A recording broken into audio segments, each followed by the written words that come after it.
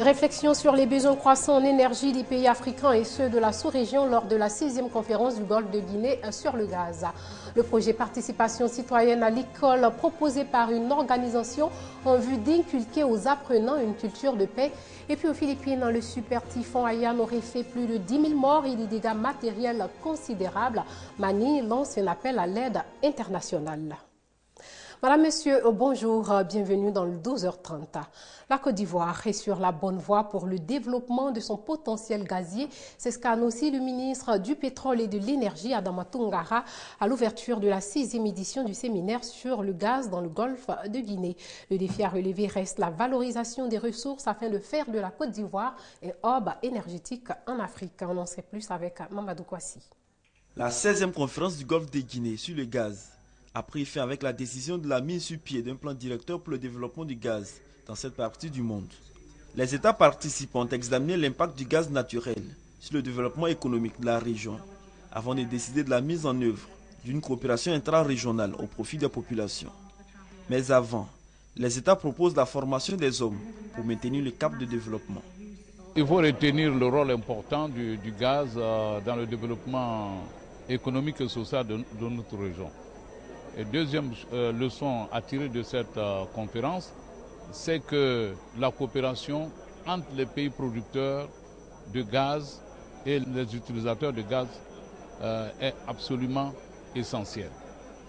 Et que quand bien même vous êtes producteur de gaz, il est bien aujourd'hui que nous regardions devant pour voir dans quelle mesure nous pouvons participer à cette révolution nouvelle du gaz naturel liquéfié la Côte d'Ivoire s'est engagée à chercher du pétrole de, façon très sérieuse pour que nous soyons à l'abri euh, d'une pénurie de gaz dans les, dans les 20-30 années à venir. Après Abidjan, c'est Abuja, la capitale du Nigeria, qui va accueillir en 2014 la 17e édition. Une édition qui réunira les détenteurs de ressources et les investisseurs. Avant la clôture de la 16e conférence du Golfe de Guinée sur le gaz, un contrat de partage de production a été signé entre l'État de Côte d'Ivoire et Citol, une société pétrolière.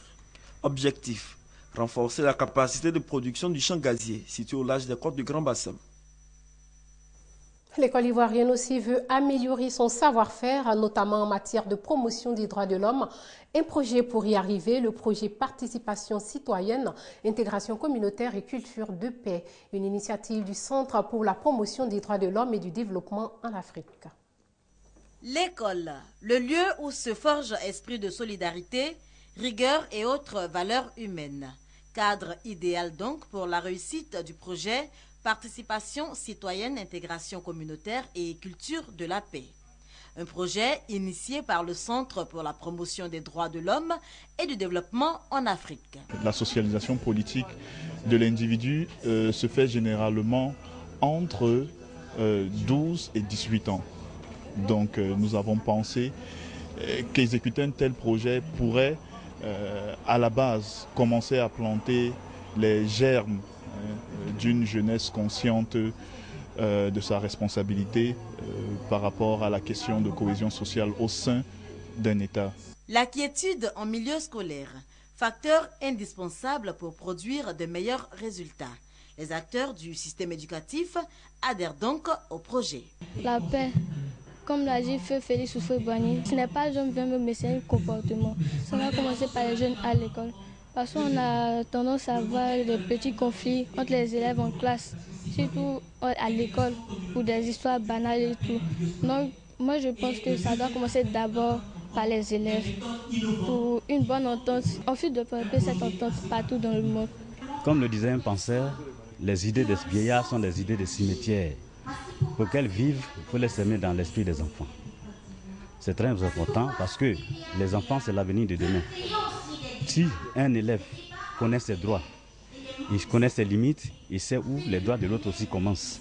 Participation citoyenne, intégration communautaire et culture de la paix vient en appui à l'éducation des droits de l'homme et de la citoyenneté, une discipline intégrée dans les lycées et collèges depuis 2012. Inculquer une culture de paix aux apprenants, c'est bien, mais cela pourrait avoir un impact positif que si ces apprenants n'ont aucun souci d'ordre matériel et financier. Une organisation dénommée Chaîne des Colombes l'a bien perçu. Elle a remis des kits scolaires, alimentaires et vestimentaires à plusieurs enfants et femmes des couches défavorisées de la commune d'Abobo. Laetitia Manglé nous en parle. La chaîne des Colombes, le mouvement de soutien aux actions de la Première Dame au secours des femmes et enfants démunis de la commune d'Abobo. Après ceux de Yopougon la semaine dernière, ils viennent de recevoir ce samedi un important lot de kits scolaires, vestimentaires et alimentaires. Peut-être la fin d'un long épisode de vie précaire. J'ai aussi un, scolaire avec des, des habits. Je remercie maman Dominique Ouattara et maman Colombe. que Dieu les bénisse.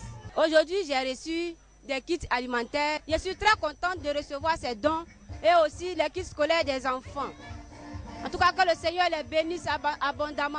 Assois Honorine, présidente nationale de la chaîne des Colombes, entend au travers de ses actions humanitaires contribuer à l'amélioration des conditions de vie des populations d'Abobo. Nous avons des familles dans des quartiers qui souvent n'arrivent même pas à se nourrir une fois par jour. Nous ne pouvons pas combler cela, mais nous pensons qu'en apportant même un sac de riz ou bien un kilo de riz, ça apporte quand même un peu de souffle à cette famille et ça leur permet quand même de pouvoir se nourrir pour une journée. Une action qui compte s'étendre sur toutes les communes du district d'Abidjan. Donc à l'avenir pour les radios de proximité ivoirienne et comment pourraient-elles contribuer à la promotion des droits de l'homme? Des préoccupations sur lesquelles se sont penchés les directeurs et animateurs de radios de proximité lors de leur sixième assemblée générale. Laetitia Manglé nous en dit plus. Yopougon, ce samedi matin, il est 8h30. Marcel Tansiard, animateur radio, a pour mission ce matin-là d'optimiser le réveil de ses auditeurs. Mission échouée, pourrait-on dire, pour cet agent de radio de proximité. Une coupure d'électricité survient alors qu'il est en pleine émission. C'est bien dommage, c'est récurrent dans la zone. Si on avait un peu plus de moyens, puisque euh, on a engagé maintes fois des dossiers auprès des autorités euh, locales, rien n'y fit jusque-là pour nous soutenir. Donc, on fait avec les coupures intempestives d'électricité. Le cas de cette radio n'est pas isolé. Plus d'une cinquantaine de radios de proximité, autrement appelées radios privées non commerciales, travaillent dans des conditions difficiles. Vraiment, nous besoin de un émetteur.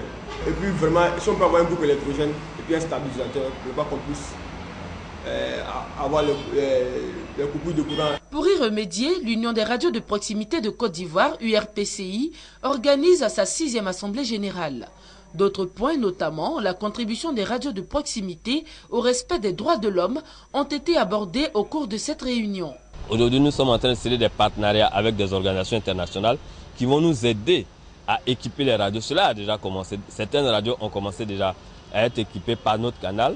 Il y a le Fonds de soutien et développement de la presse qui nous soutient parce que nous montons des dossiers régulièrement chaque année. Donc aujourd'hui, nous avons équipé 58 radios. Une assemblée générale qui verra à son terme l'élection d'un nouveau président à la tête de l'URPCI. 41 enfants séparés de leurs parents lors de la crise post-électorale attendent de rentrer en famille. La Croix-Rouge de Côte d'Ivoire et du Libéria lance une campagne d'affichage pour retrouver leurs parents. Des affiches avec les photos de 41 jeunes ivoiriens sont placardées depuis quelques jours sur le territoire ivoirien et libérien. Le reportage de Michel Mambo. Enfants cherchent parents. Ils sont encore nombreux. Ces enfants hors du cocon familial depuis la crise post-électorale. Une bonne poignée a eu bien de chances d'être retrouvée. Une lueur d'espoir pour ces tout petits, le Comité international de la Croix-Rouge session Côte d'Ivoire et la Croix-Rouge du Libéria engagent des démarches pour retrouver leurs parents. Le CICR a pour mandat de rétablir le lien entre les personnes qui se sont trouvées dispersées du fait de la crise ou bien d'une guerre ou d'un conflit armé. Et cette campagne postale-là vient pour répondre au fait que euh, nous, des enfants, sont séparés de leur famille, ne savent pas où se trouvent leurs parents. Et le CICR a pour but de pouvoir les regrouper avec leurs parents. Top départ de l'opération, la commune de Yopougon. Et le choix de la cité n'est pas fortuit. La première édition de l'opération Poster Radio du CICR Côte d'Ivoire, partie d'ici l'an dernier, a tenu toutes ses promesses. En fait, après les affichages, heureusement, il y a des familles qui sont reconnues. bon, il y a eu un rétablissement de ces lignes-là.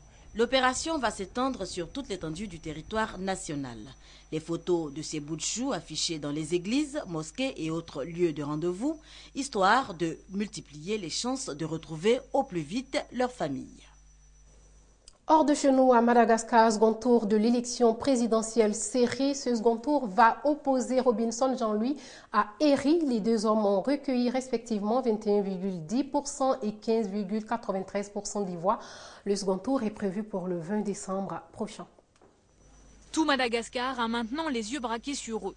Les deux vainqueurs du premier tour de la présidentielle affichent leur sérénité ils ont même échangé une poignée de main cordiale lors de la proclamation des résultats.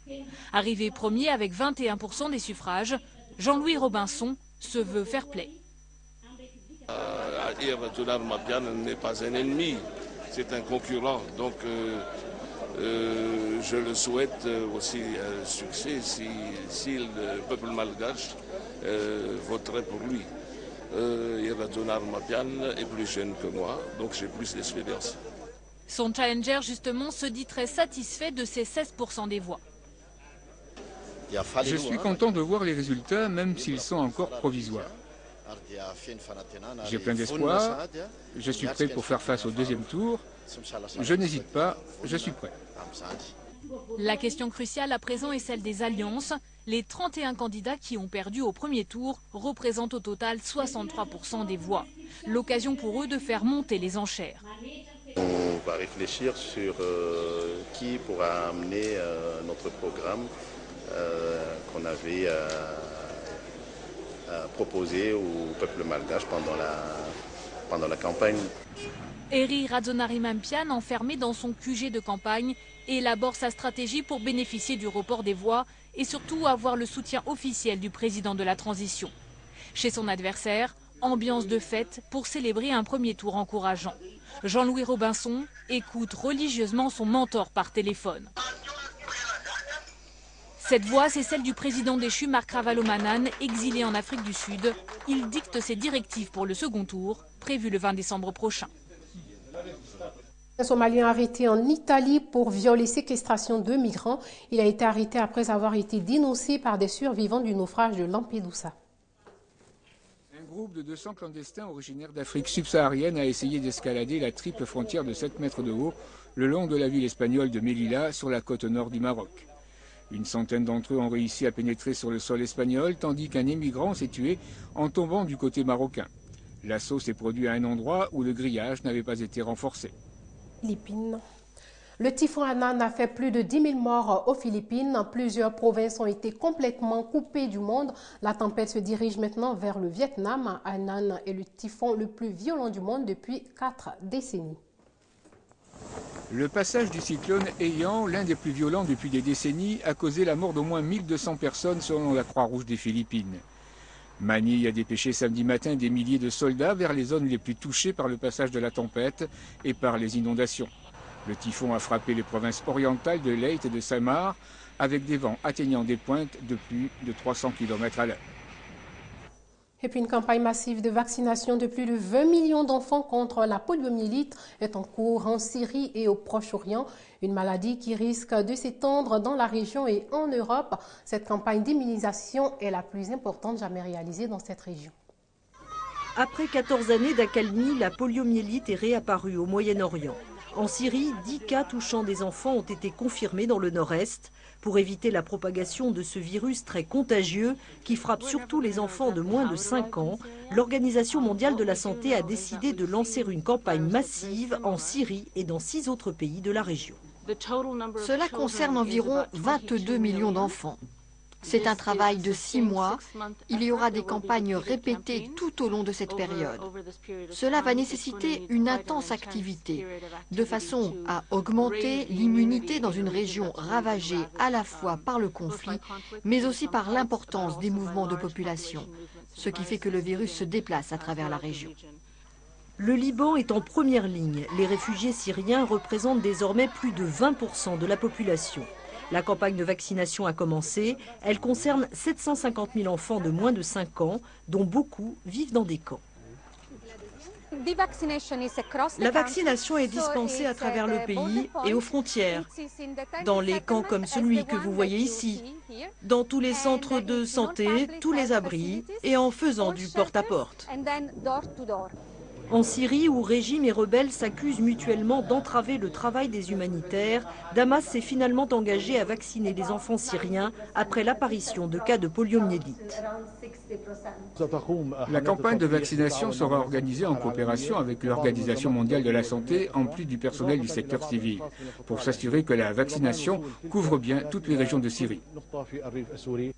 Il y a urgence, selon deux experts allemands, la réapparition de la polio en Syrie, où la couverture vaccinale a fortement décliné depuis le début du conflit, menace non seulement les pays voisins, mais aussi l'Europe. L'Europe qui accueille elle aussi des réfugiés syriens et où la vaccination contre la polio dans certaines régions est en perte de vitesse. C'est la fin de ce journal. Merci de nous avoir suivis à San Pedro. Portez-vous bien.